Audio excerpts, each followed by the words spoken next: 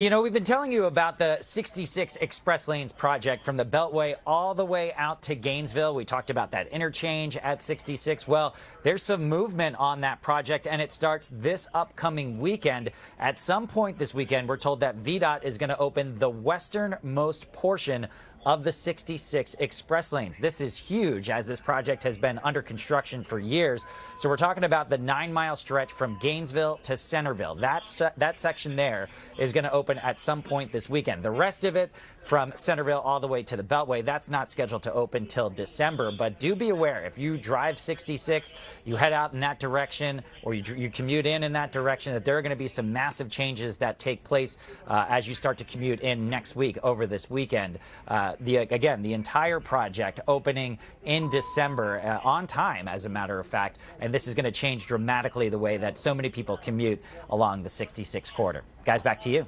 Adam, thank you.